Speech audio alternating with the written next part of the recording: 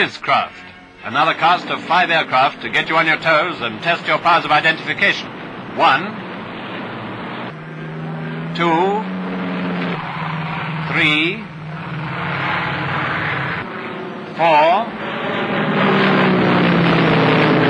and five. Here they are then, and you ought to know them all by now. But in case you don't, let's take them singly. Not so singly at that. Here's our first, over the desert where she made her name. Well, what is her name?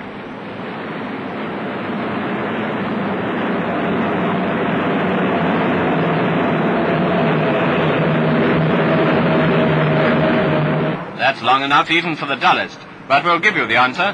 Long glazed nose, step up to fuselage, to tailplane too, and large rounded fin and rudder spell Maryland, a name which reveals her American origin. But it's over the western desert and in British colors that the Maryland has achieved her greatest glory. Ask anyone who fought out there. Anyone on our side, I mean.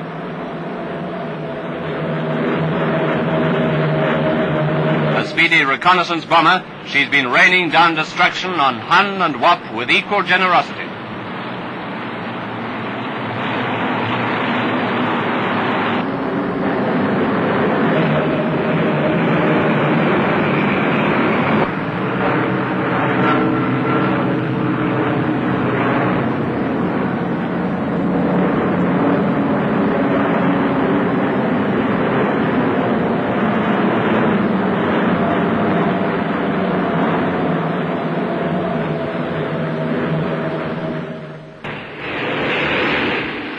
Two fighters in mortal combat. What are they? The one with pointed wingtips is a Spit, but what's the other?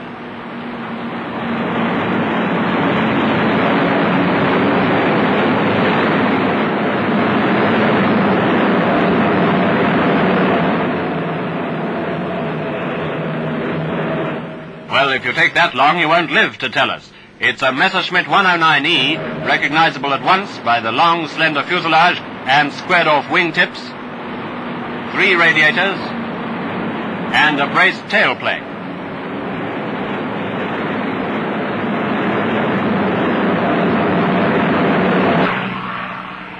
Germany's standard single-seat fighter for the first two years of the war, the 109E has been found wherever the Hun has ravaged and destroyed. Poland, Holland, Belgium, Greece, and Crete know her only too well. Escorting German bombers was her job in those days, but over Britain, Russia, and in the Western Desert, she has met her match. You must have seen her over England, all over England, in ditches, hedges, fields, and scrap heaps, too.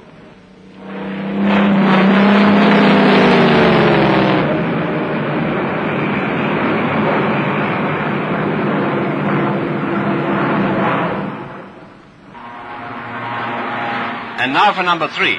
So easy, full of character and typically British, you must know her at once.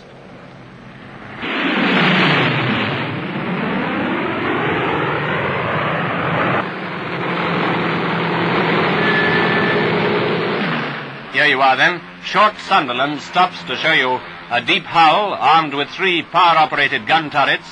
The hull divided into three equal parts by these steps. Four radials, and that high fin and rudder. Incidentally, this earlier model of the Sunderland has only two turrets. Long-range reconnaissance and convoy escort are her normal roles. Many a Hun submarine crew have seen her, if only they'd lived to describe it.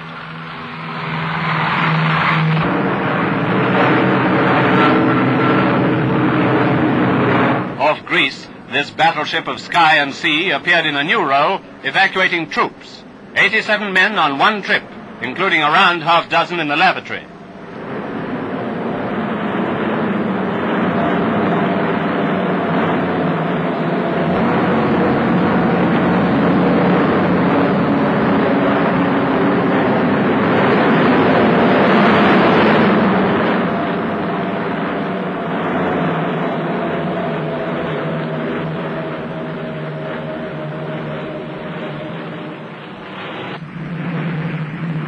Now for our fourth. Silhouetted against the sky. slab-like wings, twin tails, and slab-like fuselage too. It's too easy. So let's bring it to a halt and summarize. In a nutshell, just one mass of rectangles. And it's a Whitley.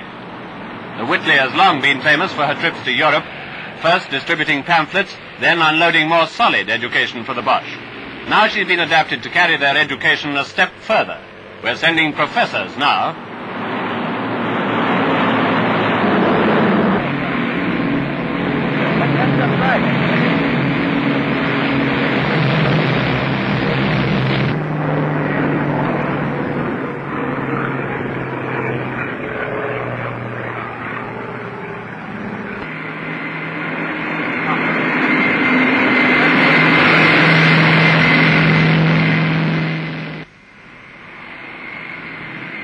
Finally, what's this roaring in at us?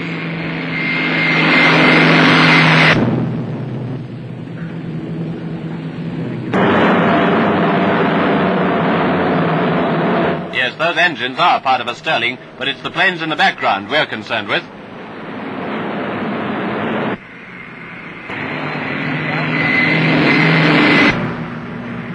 High tail fin, Wellington, wing plan, it might be. Well, what about those engines? It's so difficult to tell when they're moving. Thanks. Two underslung engines breaking a trailing edge which has sharp taper and a tailplane with dihedral. Boston she is. But which mark? Tails up in flight, that might be any of them, but the size of the fin and rudder make it certain that this is a Boston Mark III. These Douglas aircraft, Bostons by day and Havocs at night, were among the pioneers of the tricycle undercarriage. Against the stealthy night raider, Havocs have lived up to their name, and by day, the speed and bomb load of the Boston have had a great influence on factory unemployment in occupied France.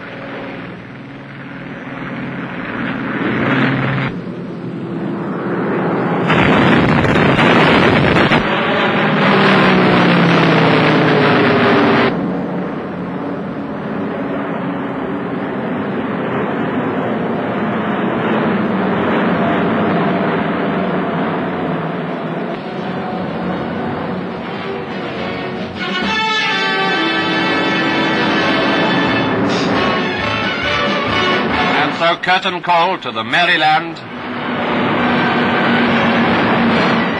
The Messerschmitt 109E. The short Sunderland.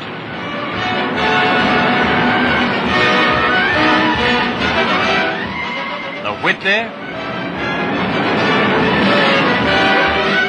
And the Douglas Boston.